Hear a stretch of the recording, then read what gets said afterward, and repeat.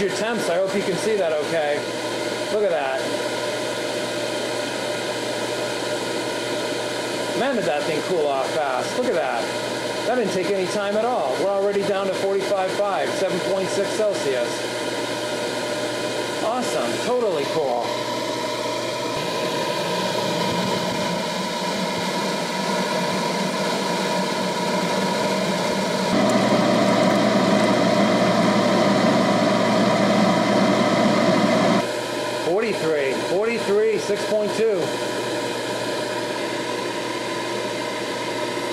4.4, 40. We really get in there. Check that out. We can get this down into the 30s. 35.5, 34.5, 1.2 Celsius.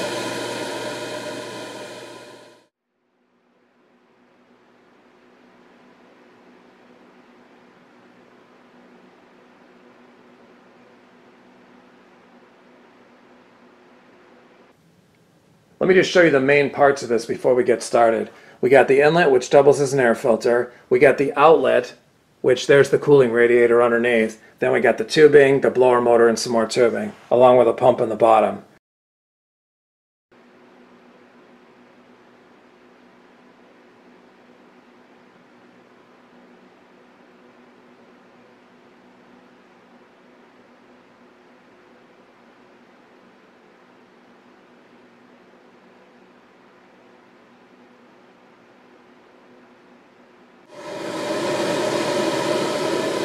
Oh, that's perfect. Huge amount of air. Listen to that.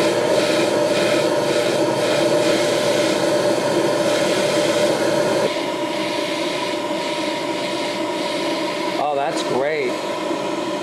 I gotta put the tinsel on there. It'll be shooting it straight out. That's perfect.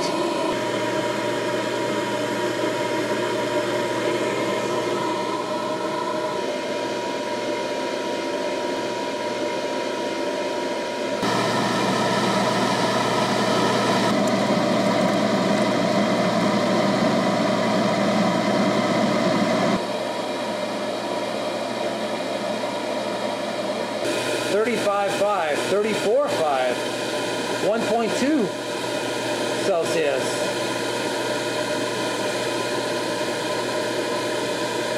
You can see it's just hitting the plastic, even right there. 40 on the edge, 33, 30 inside. That's unbelievable. That's awesome. I can't get over that. Hope you can see that okay. 37, 35. Look at those temps. That's great. Getting close. 37, 36, 2.2 Celsius. 34. How about on this side? Same thing, 34.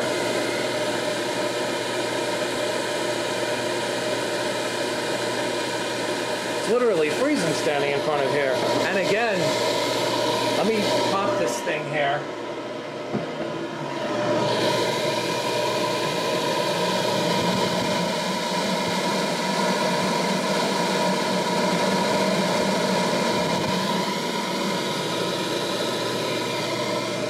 Awesome. That's so cool.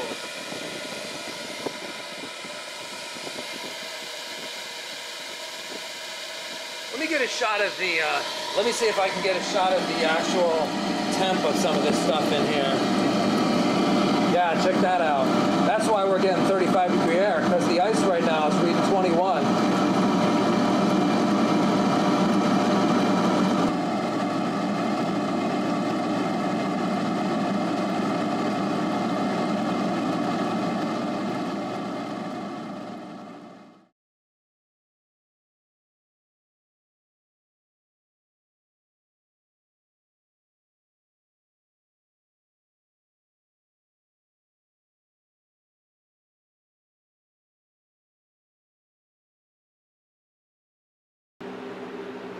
By the way, the off-grid options for this would be straight to a 12 volt solar panel, straight to a 12 volt deep cycle battery, or you could just plug it straight into your car's 12 volt power socket.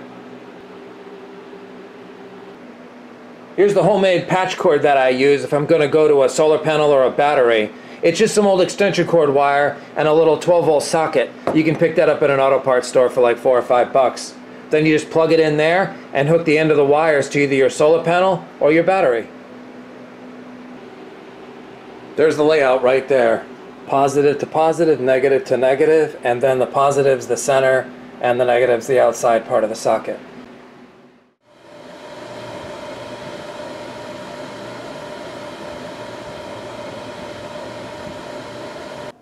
As far as the solar panel goes, just make sure it's 12 volts and it puts out at least 3 amps. Actually, I'd go with maybe one that puts out closer to 4 or 5 or 6 amps. Say a 100 watt solar panel, just to cover it so you don't have to like adjust it to the sun every 15 minutes to get full power.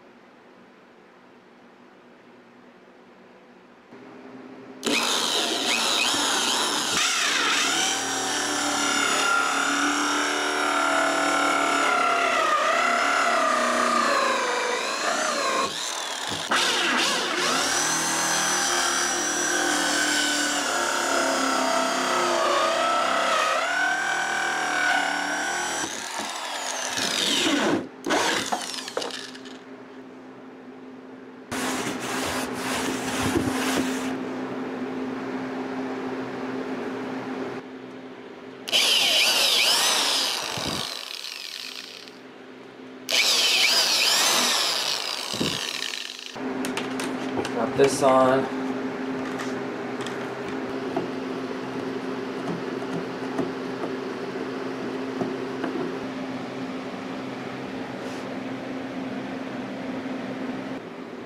Then we'll just drop on and center the radiator. About like that, and I'll fasten it down.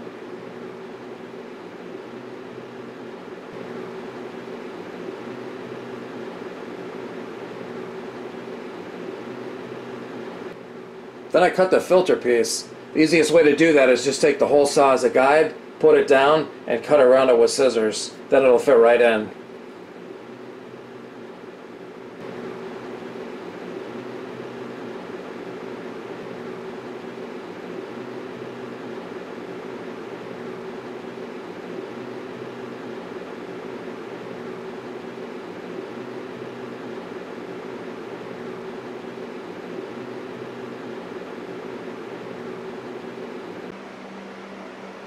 Alright, and finally, I just drilled a 3 16 inch hole there for the pump wire and then twisted the positives and negatives together. And then I'll just add a 12 volt plug and we're good to go. It's all set.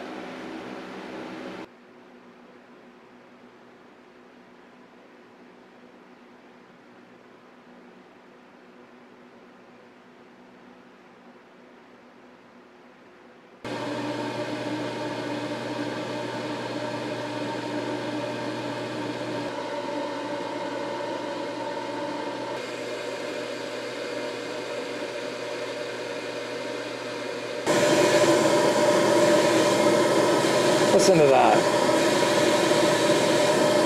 Just the sound of air rushing through there. No weird sounds.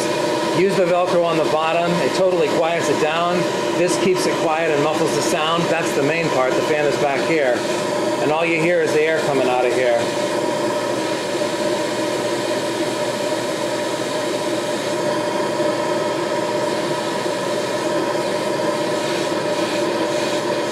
Beautiful. Oh yeah. That's totally awesome.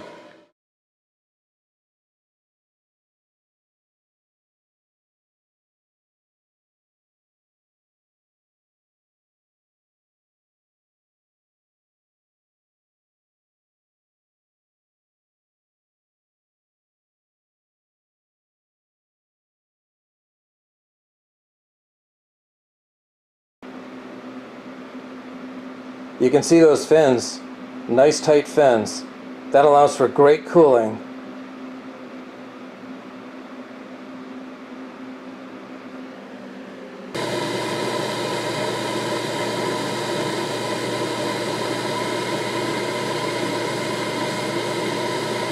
Mid 40s, 6.8 Celsius.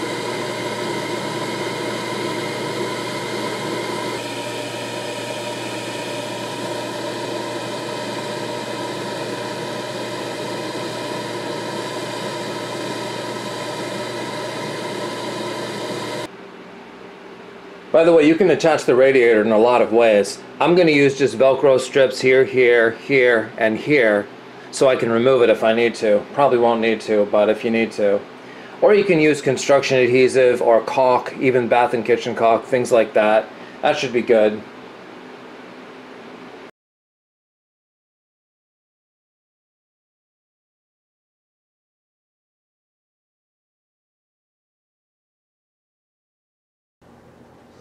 You can also run it in your car if you want to. These little power sockets are usually rated to 15 amps. The unit itself again only takes three, so you could comfortably run probably four of those units if you wanted to. But just put it on the side seat or in the back and you're good to go. By the way, if you want to, you can put a full-length dryer hose on the front, and then that's a full length or 18 inches compacted. But if you expand it to its full length, they can go as far as 8 feet.